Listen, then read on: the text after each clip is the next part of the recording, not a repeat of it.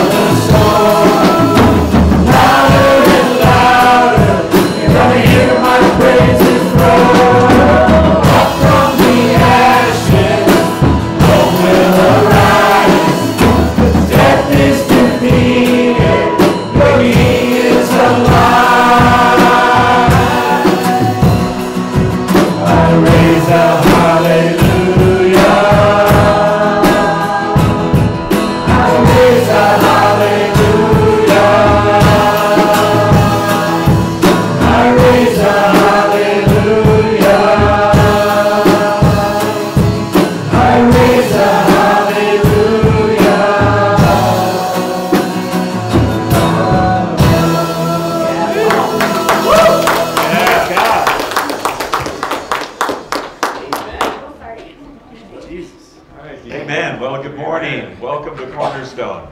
For you who come all the time, good to see you today. Good to have some Kansas folks who are back for the winter, Bill and uh, Melanie, and uh, glad to have other visitors here. If you are visiting for the first time today, I hope you don't feel like a visitor for longer than about that. If you look at the back, it says enjoying God and enjoying community, and we love the community. And this is a great place just to love on one another, to make friends. And a part of the way we do that is by taking a few minutes during our service to just uh, interact with each other. Say hi to a friend, uh, meet a new person you've not met before, grab a cup of coffee if you didn't have a chance to do that already. So we're going to take the next few minutes just to greet one another, and then I'll call us back together for, for some announcements, and we'll move on with our service. Hey, Mark, say Good. All things good, Friday? How you? Hi, Kelly. I'm well. How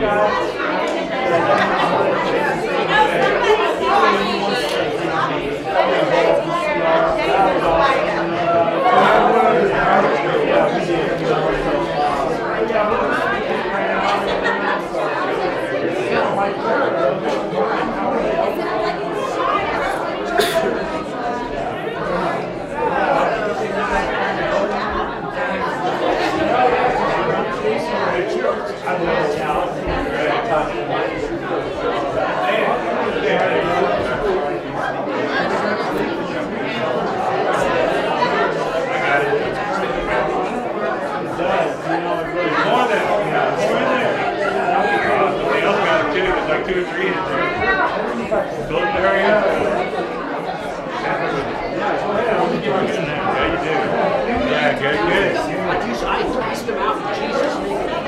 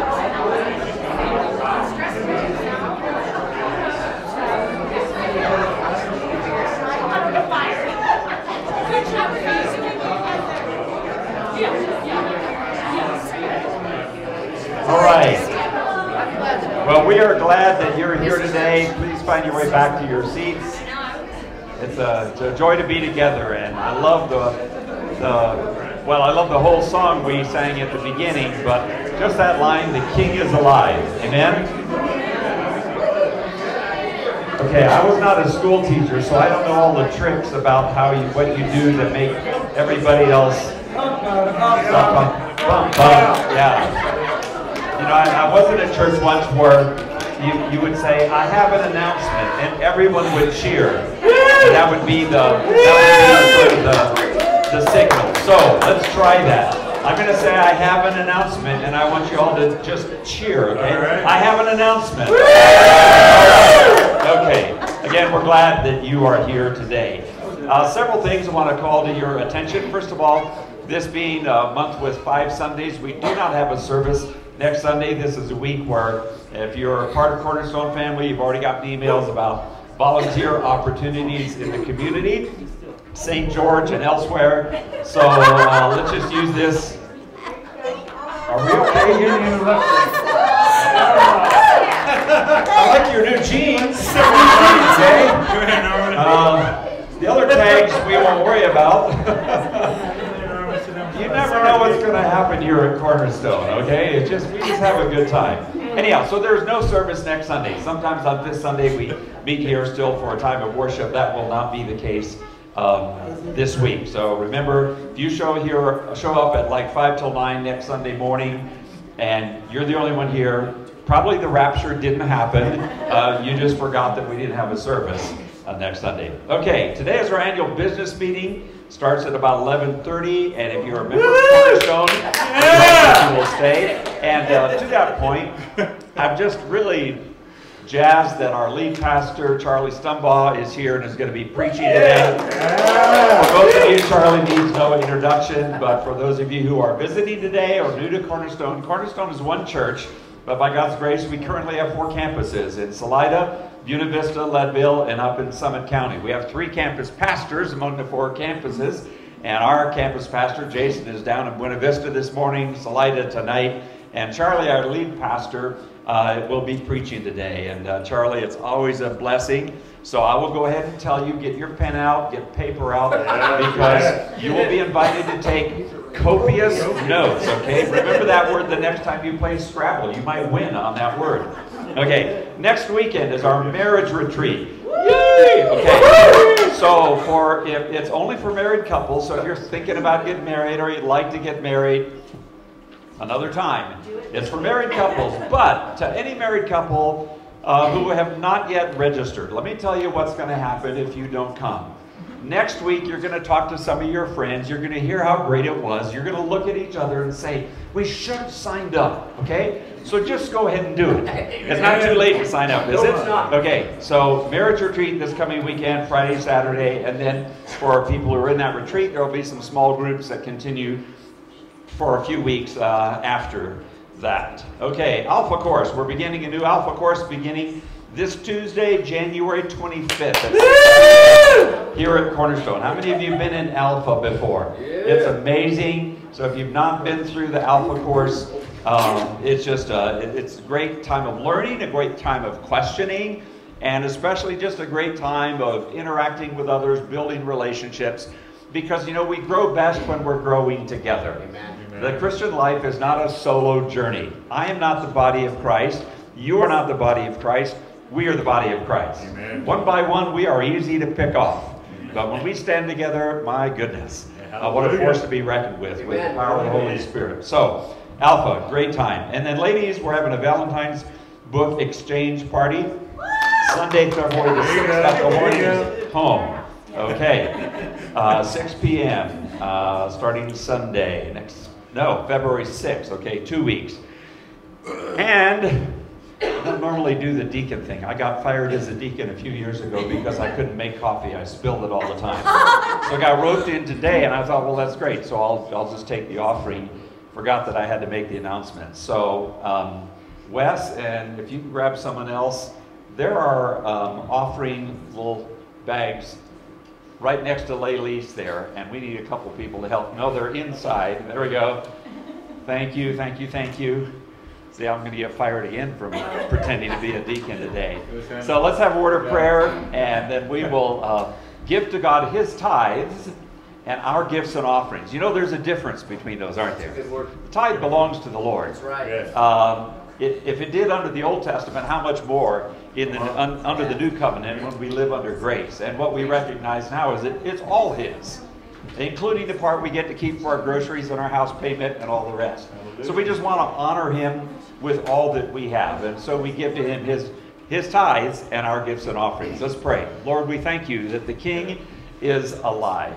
Always has been, is today, always will be. And we're gathered to worship Him.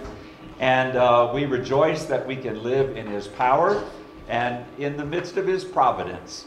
Thank you for gathering us together today to worship you. We thank you for the opportunity we have to give back to you a portion of what is already yours. And may our giving be an act of thanksgiving. May it be an act of worship. May it be an act of gratitude. And it may it be a reminder for us that it's all yours anyway, that everything we have came from you. right. And we pray that you would take these offerings and use them to extend your kingdom here in Lake County and the surrounding counties and to the ends of the earth. In the name of Jesus, we pray. Amen. Amen. Junior,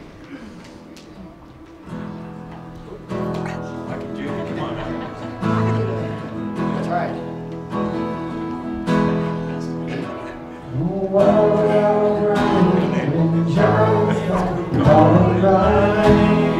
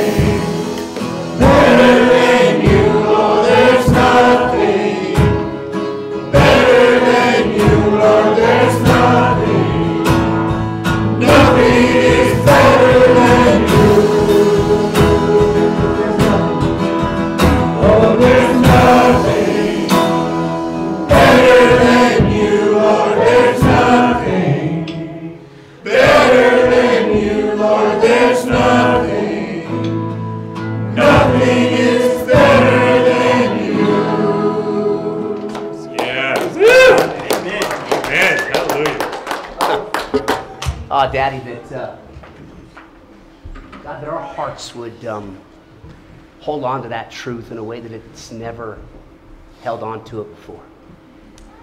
That God, ultimately, there's nothing better than you. That you are the Amen. crescendo of our faith. Hallelujah. That God, you are our single pursuit. And so we just say yes to that yes. this morning. Look forward with expectancy yes. of heaven coming to earth and just flat out wrecking us. Yes. God, I pray that as we collide with you, the seismic activity of that, uh, that collision would forever change our lives. And God, may it spill out into this community and forever change Yes. the lives of those that we come in contact with. yeah. Yes. Wreck us today, Daddy. In Jesus' name we pray, amen. Amen. Hallelujah. Well, it is absolutely good being with you, as always. Yes, Kimber. Yes, ma'am. Oh, yes. Kiddos, go go play. I'll, actually, I'm going to go too. Dad.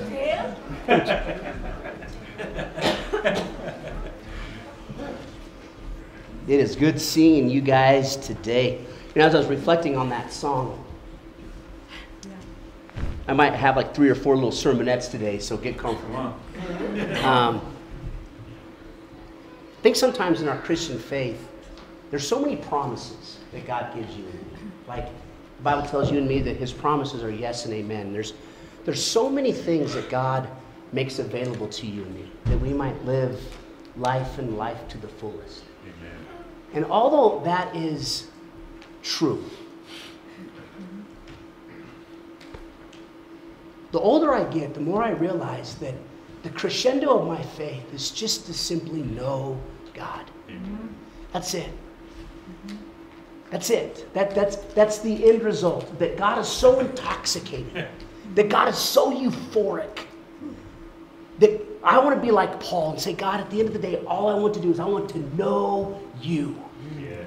That's it. I want to know you and the power of your resurrection. I want to share in the fellowship of your sufferings, being like you in your death, that somehow I could attain to the resur- resurrection of the dead. I remember early in my faith, it was, I want to serve God because he'll make this better, or he gives me joy, or he gives me. And all those are true. But the older I get, um, what I seek the most is that still soft voice. What I seek the most is just that that face-to-face moment with my dad that forever changes my life. And so, honestly, when we sing a song like that, I pray that it resonates in our hearts in a way that we're like, whoa, Daddy, I, I don't want to pursue you for what I can get. I want to pursue you for whom I might know. And that changes everything. Amen? Amen. Uh, another thing I just, I just, I love coming up here. Um, I was like Josiah over there, like ripping it on the trap set, man. And a couple things that I find solace in is one, the privilege of watching a young man grow in the Lord. Um, Amen. I have the privilege of seeing this kid like this big, and and I, I and when you when you kind of you don't live in it, you know what I mean? Like y'all are used to it, and and when I only get to come up a couple times a year, you get to see that growth, and, and it resonates in your heart, and you know you're you're part of something bigger than yourself. But what it reminded me of this is the legacy we leave behind. You know why Josiah's behind that trap set? Because of a young man named Philip Chase. Come on. And some of you don't even know Philip Chase. You wouldn't know him if you ran into him. Yeah. But he forever will have an imprint on this campus. Hallelujah. He's left a legacy Hallelujah. Yeah, yeah. that you and I continue to enjoy. And so, life is not how you find something, life is how you leave something. Come. Um, and so, what will our legacy be? Um, and so that was just a great reminder. So, one, thanks for being faithful. Um, but the shout outs to those who leave legacy, um, those who, to, who leave succession, um, and those who champion those in such a way that uh, what we do lasts longer than our lives. Amen. Amen. Amen. Well, I'll take up a second offering for all of that, and then I'm just kidding. I get to talk to you today about vision. Um, when you when you go to Summit County, when you go to downtown Leadville, when you're in Salida, there's certain buses. You go to a bus station, and at that bus, there's oftentimes a little sign that communicates its destination, right? And depending on where you want to go, obviously is determined by what that sign says. If I want to go to Copper Mountain, but I get on the bus to Arapahoe Basin, although I might still be skiing, I'm not going to wind up at my destination. Does that make sense? You can go to a Greyhound bus station and you can travel. You can say, I love traveling. But if your destination is Dallas and you get on the bus going to Phoenix, you're going to wind up in a city. It's just not going to be Dallas. Right. Right? And so the vision's a lot like that. The Bible tells you and me in Amos chapter 3, verse 3, that lest two be in agreement, how can they walk together? Come on. Habakkuk 2 2 tells us that write up plainly that a herald may run with it. In Revelation, or excuse me, Proverbs chapter 29, verse 18, it says this it says that without vision, people perish. Or in another translation, it says, without vision, people literally cast off restraint. Vision is what unifies us. Vision for you and me is the bus we're getting on. Come on. It's, it- it's what we get excited about. Because ultimately, at the end of the day, one of the things that we're going to navigate is we can always do together what we could never do apart. There's things that God wants to do in us, and us being in agreement, us using our energy, God, uh, us using the gifts that God has given us to help perpetuate the vision, purpose, and direction that God gives us is very important. And so the invitation for you and me is simply this hop on the bus. Come on. And let's get on the same bus and let's get in the right seat and let's see what God can do in and through us for His glory and for His honor. Hallelujah. Amen? Amen. Let's pray. Daddy, I love you so much. Right. Uh, what, a, what a joy it is to be a part of your kingdom. And I just ask God in Jesus' name that you would make clear what you want to convey today. I pray that it would pierce minds and go to hearts that we would leave forever changed for your glory and your honor. God, we, we just, we recognize the gravity of yes this morning and we just simply say yes to you. God, that whatever it is, our answer is yes. Not my will, but your will be done. So, Daddy, we love you. And in humility and brokenness, we ask that you would do in us what we could never do in and of ourselves.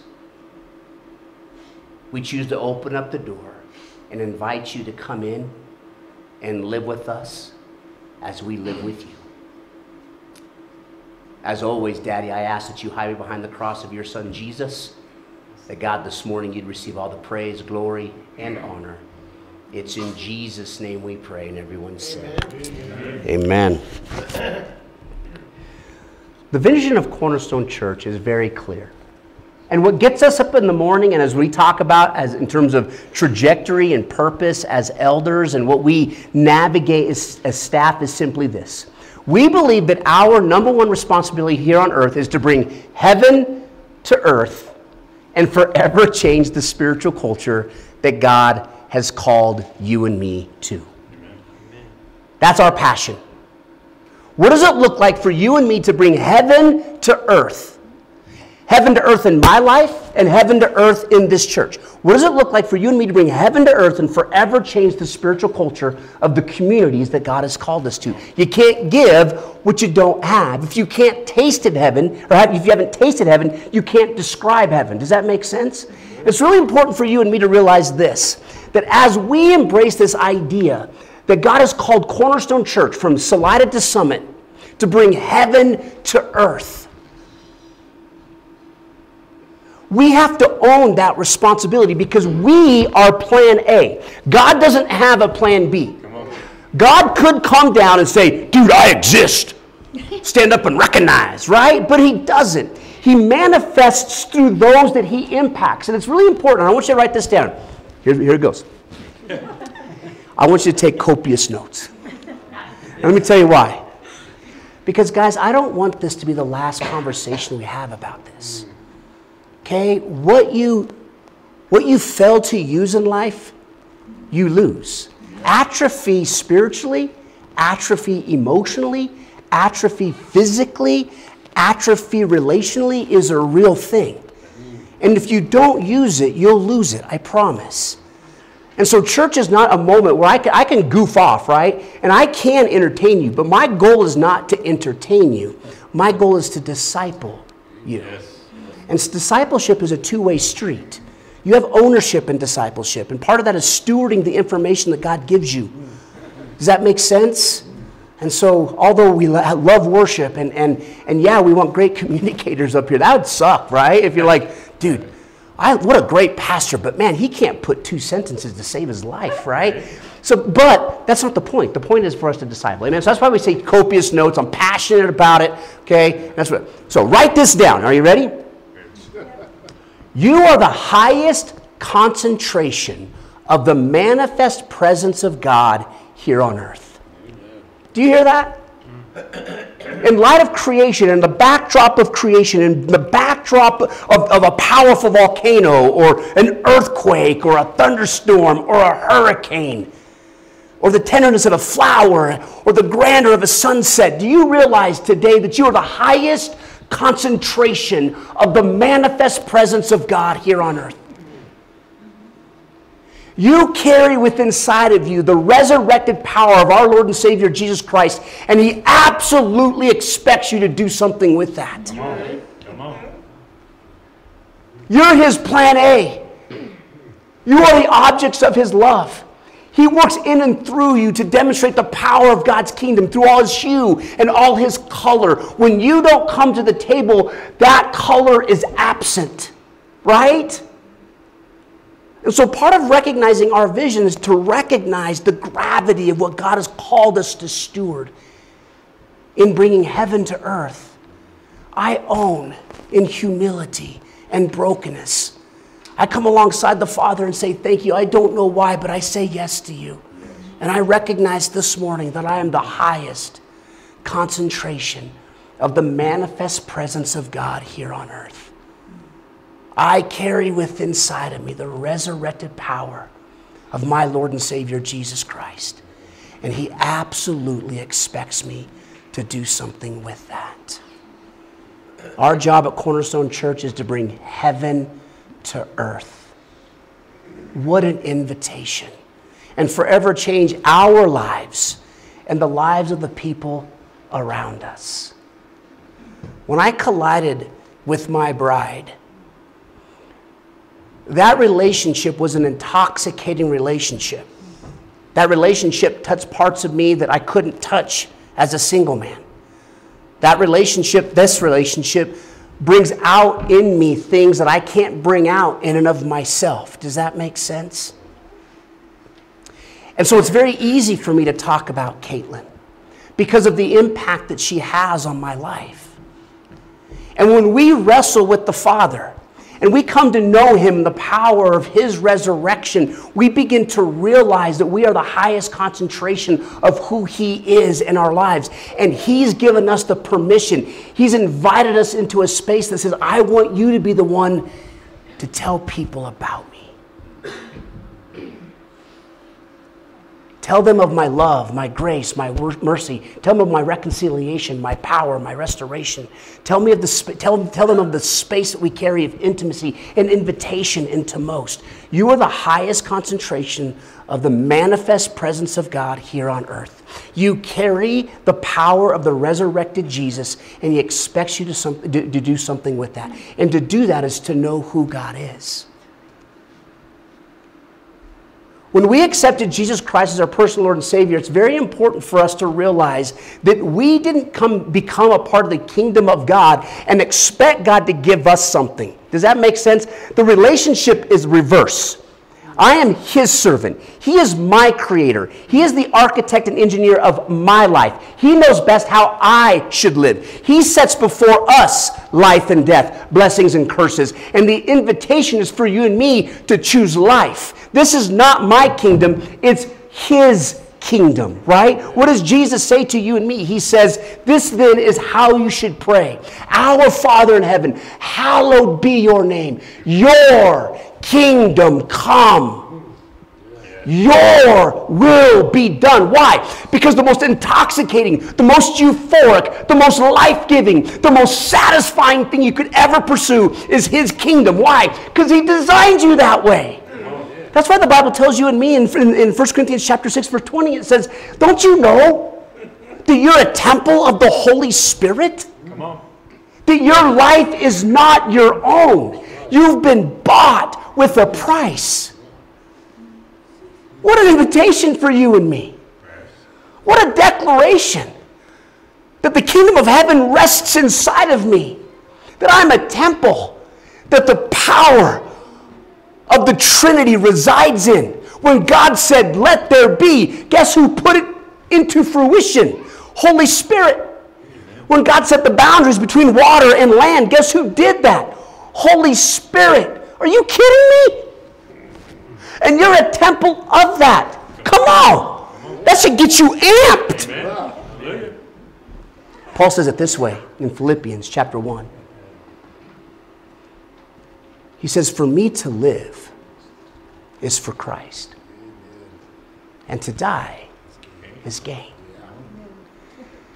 He goes on to say, Oh, it'd be far better if I were in heaven, right? Because heaven's real, right? And so my wife tells me to stop eating junk food. I said, Baby, I, I have no intention of living forever in this, okay? this is going to go bye bye someday.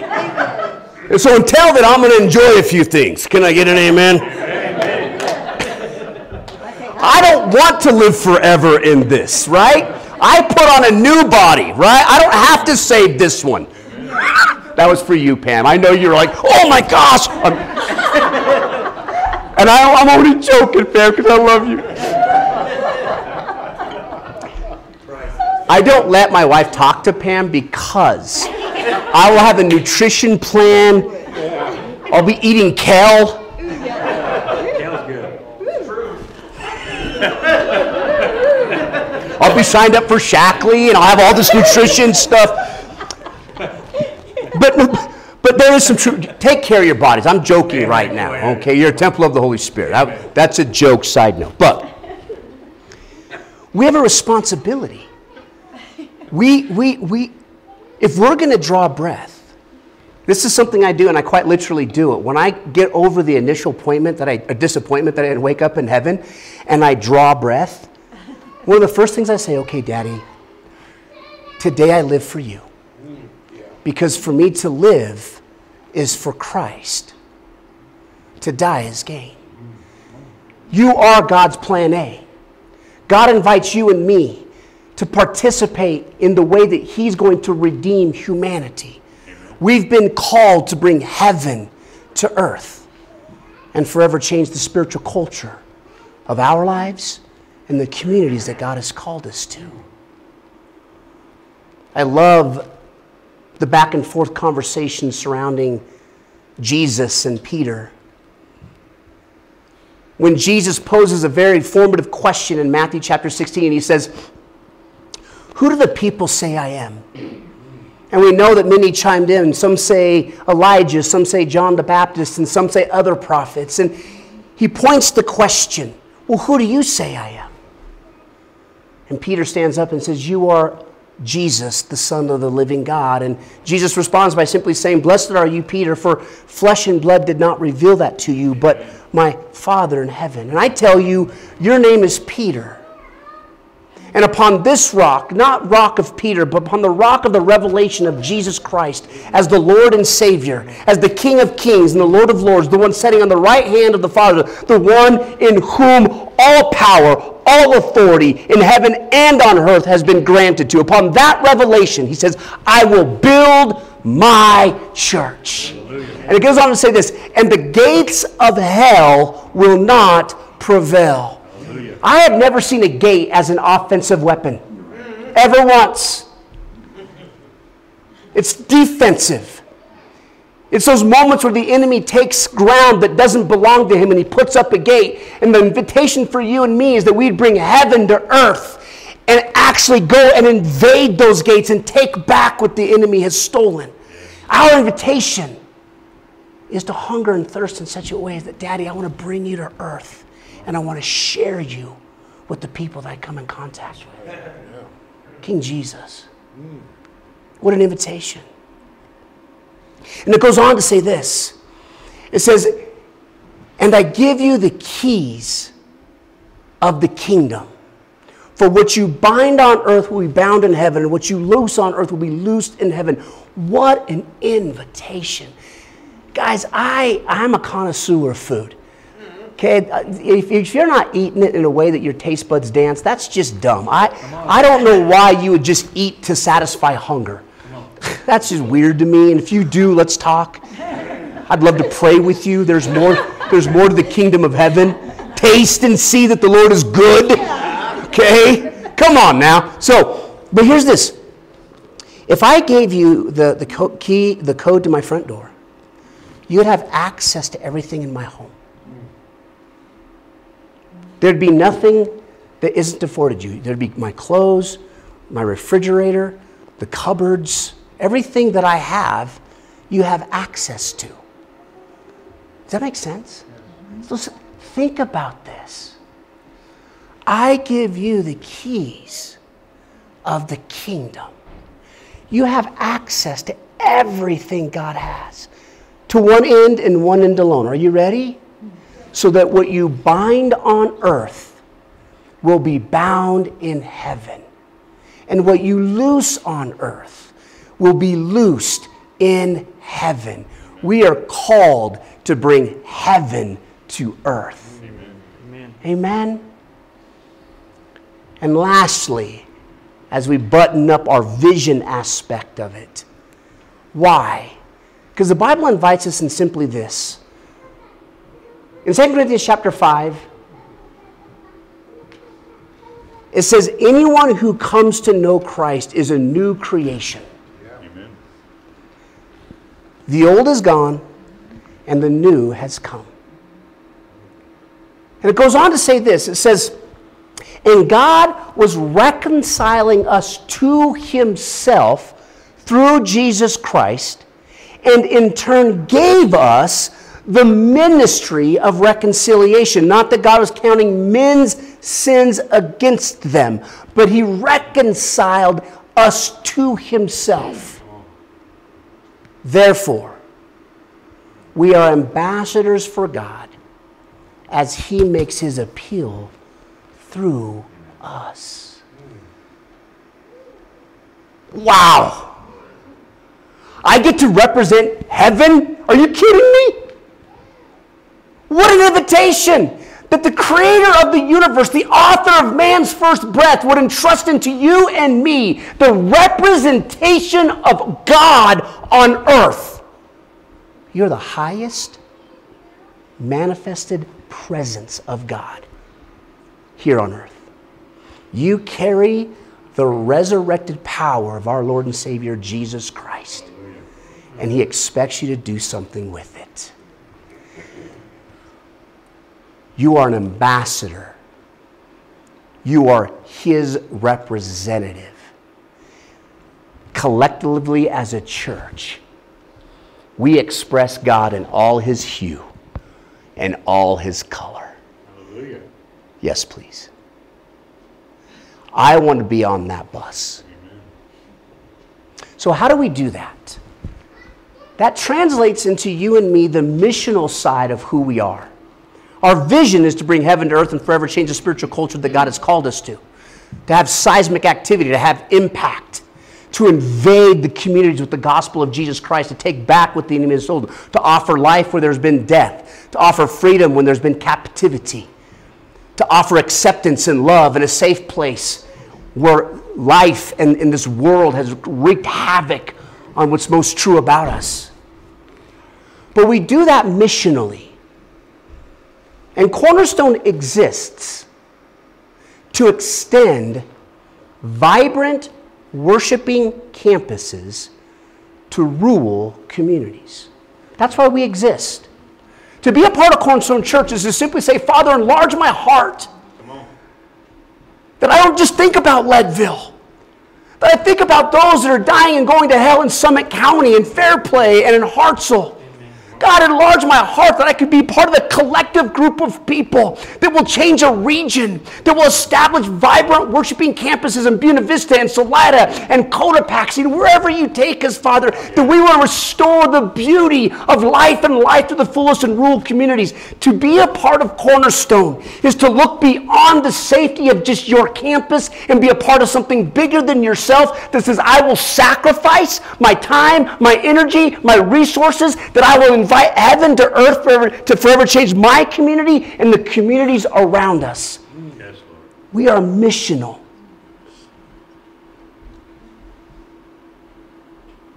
In Matthew chapter 28, verse 18, it says, Go. It didn't say get comfortable. It's hard. I'm, dude. The Bible said, Go and make disciples, not churchgoers. It says, Go and make disciples of all nations, baptizing them in the name of the Father and of the Son and of the Holy Spirit. In Acts chapter 1, verse 8, Christ commissioned the seed of the New Testament church. Said, Do not leave Jerusalem until you've received the promise of the Holy Spirit. And in Acts 1 8, it says, And you will receive power when the Holy Spirit comes upon you, and you will be my witness in Jerusalem and Judea and Samaria and to the uttermost parts of this world. You and I have been invited into a great commission. You've received the power of the Holy Spirit to one end and one end alone to be a witness in Jerusalem, Judea, Samaria, and to the uttermost parts of this world. To be a part of Cornerstone Church is to say yes. Yes to bringing heaven to earth. Yes to the responsibility I have to live in such a way that the use of my life outlives my life. It's an invitation to yearn the deep parts of us, crying out to the deep parts of the Father and say, I want to know you because I want to share you with the people I come in contact with. I want you to emanate in the things that I say and the things that I do, in what I think and the inclinations of my heart. I want to bring heaven to earth and forever change the spiritual culture of the community that God has called me to. Missionally, Father, I want to extend your kingdom to rural communities because I know you have a heart for them. I want to end this morning with a story, just kind of give you some backdrop of why we are where we are today. I want to share it from a beautiful story found in John chapter 1 when Philip got wrecked by Jesus. Jesus of Nazareth. You know the story for some of you, it's familiar. But Philip flat, flat out collides with the creator of the universe and it wrecks him. He gets totally amped. All the stuff deep down inside of him comes to life. And he goes to his buddy Nathaniel. He goes, Dude, you won't believe this. This is a Chuck paraphrase. This is not actually what it says in the Bible, in case, in case you were wondering. I, that would be a pretty cool translation, but it's, it's, it's not the, it's, it's just paraphrase, okay? And so Philip goes and he's like, Philip, uh, Nathaniel, like, you won't believe this. Like, I, I came in touch with the one. The one, the, the Old Testament, 39 books have been talking about, thousands of years of prophetic word that have been declaring. I came in contact. He wrecked me. He's real. And Nathaniel's like, well, who is he? He's Jesus of Nazareth, the son of Joseph. And after hearing all of that, after Philip was like, dude, this guy got wrecked, man, this guy must be real, right? Nathaniel was like, right on, let's go. He goes, what? Can anything good come out of Nazareth? Come on. Come on. Come on. And I say this to you. Can anything good come out of Leadville? Come on. Come on. Come on. Come and see. Can anything good come out of Buena Vista? Can anything good come out of Summit County? Can anything good come out of Salida? In a world where we've worshipped the mega church, and I don't not I love mega churches, but do you guys realize that 80% of the American church lives in small rural communities of 25,000 or less? Do you realize that? And if the enemy can demobilize 80% of the church, who wins? Just because we're small churches doesn't mean that we've been removed from big impact. Just because we're small churches doesn't mean that we've been called to have big ministry. And so I remember in 2005, as I began my journey in seminary, I would drive, depending on the weather, through Leadville, Colorado. I would drive through Park County and Hartsel and Fairplay. And I remember God beginning to speak to my heart and saying, if I asked, would you, would you come to these places and bring life giving ministry? If I asked you, would you create space to extend my kingdom and create vibrancy in small rural communities? And it was almost like this Isaiah moment, right? I'm not saying that it was, but it was almost like this Isaiah moment where the, the father was saying, Who will go for us? Oh. It was like, Okay, daddy, send Cornerstone. We'll go. And so, for the next several years, as a seminary student, I began to do research. What makes churches vibrant? Why do some churches succeed and others don't? And it was distilled into three things. And it's three things that come against the very nature of small communities.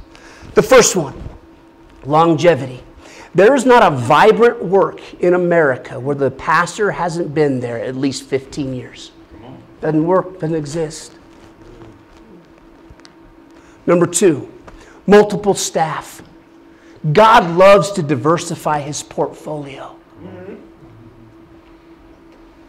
And number three, the resources for long term sustainability. The average rural pastor is able to commit their time in usually about 18 months. That's the average. No longevity in that. Most small rural communities can barely afford the salary of a single pastor, let alone multiple staff. And most rural churches, let's be honest, as my daddy used to say, they couldn't afford a necktie for a pissant. And so, what God's been able to do through Cornerstone, through you, is collectively we can do together what we could never do apart. And so when we gather our resources, we have the resources to set aside for multiple staff members. Amen. We have the resources to set aside for vibrant ministry. And then every time you add a staff member, do you realize that's not addition? It's exponential increase to the creativity and expression and line of sight and ability to connect with certain people. Guys, if I came to Leadville, some of you would love it and some of you would loathe it. but every one of you loves Jason. Does that make sense? That's called diversified portfolio.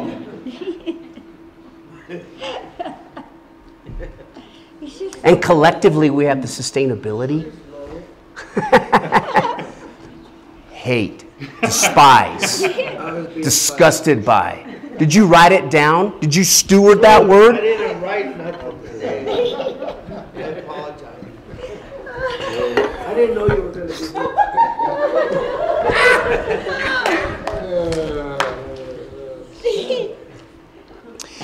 And so I was at seminary.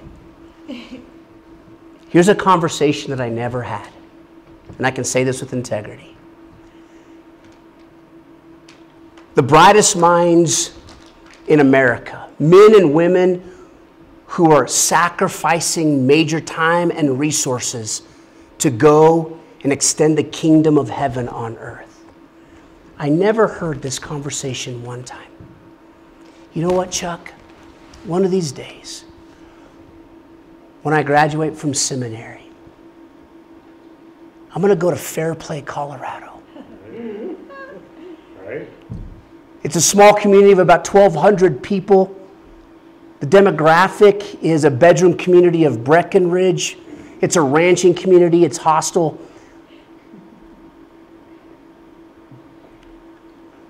The largest church is about 22 people of the collective unit of churches in Fairplay, Colorado. It ministers to about 8% of the total community. Charlie, I don't know why, but if God would give me the permission to devote my entire life to bringing heaven to earth, I might have to be by bivocational. My church might only be 35, 40 people, but I am going to commit my life to bringing heaven to earth and forever changing that culture for the glory and honor of God. What an honor.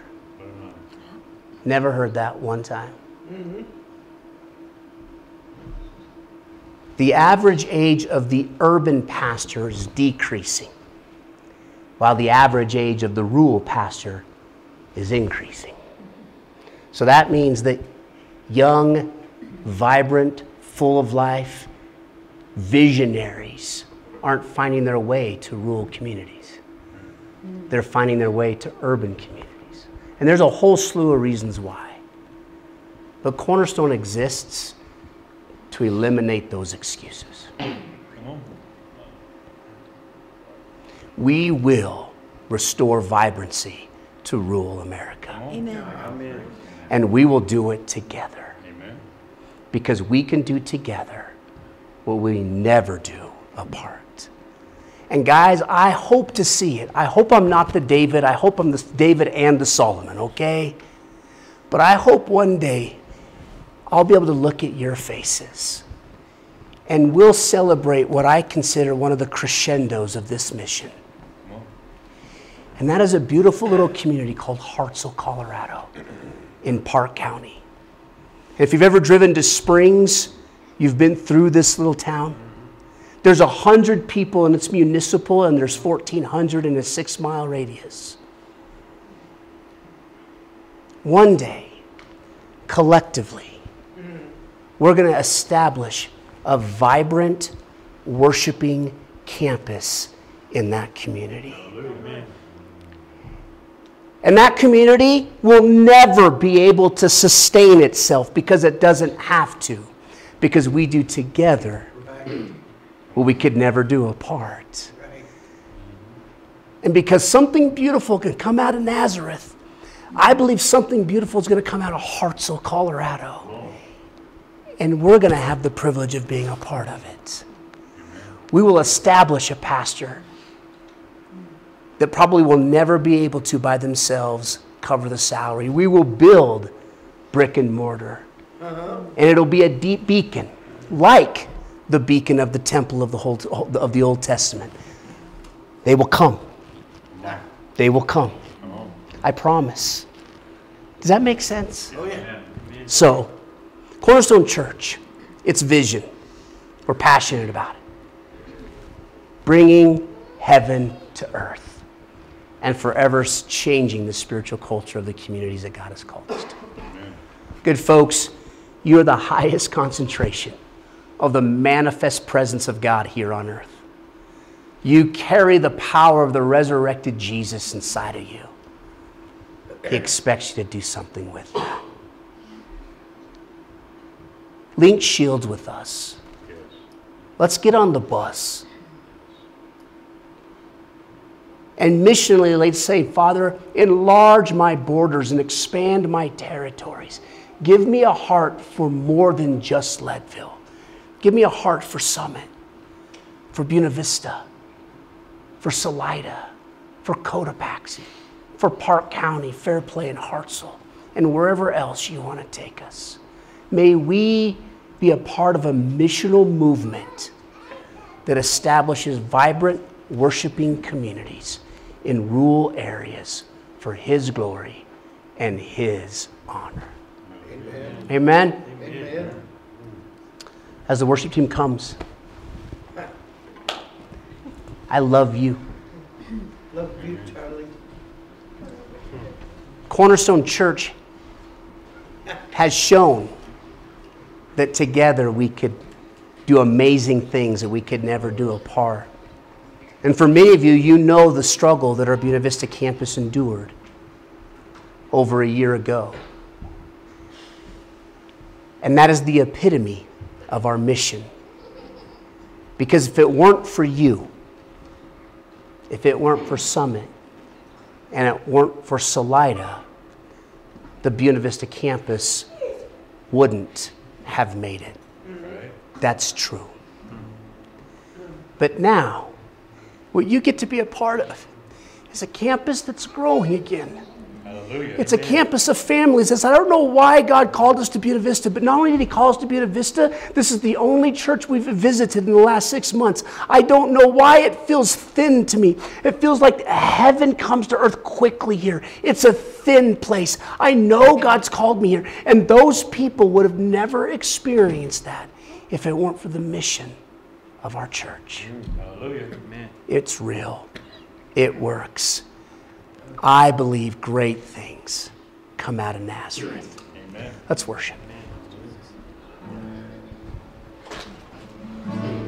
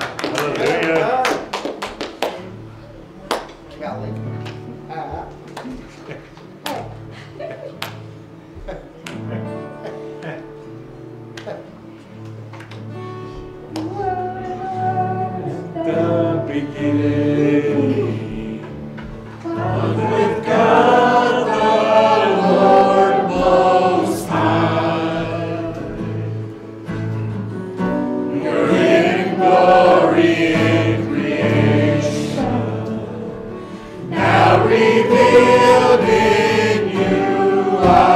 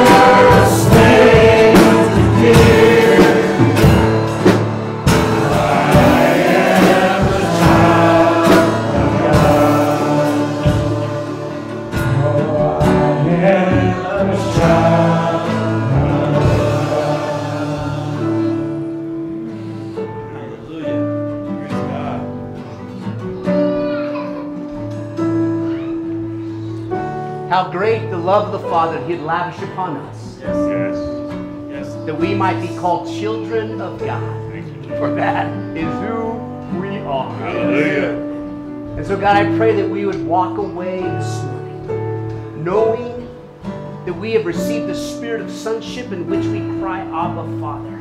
Yes. That we are part of a family that wins. Yes. We are part of a legacy that wins. And so, Father, I pray that we would represent our family well. Yes. Yes. In Jesus' name we pray. And a faith filled church said, Amen. Amen.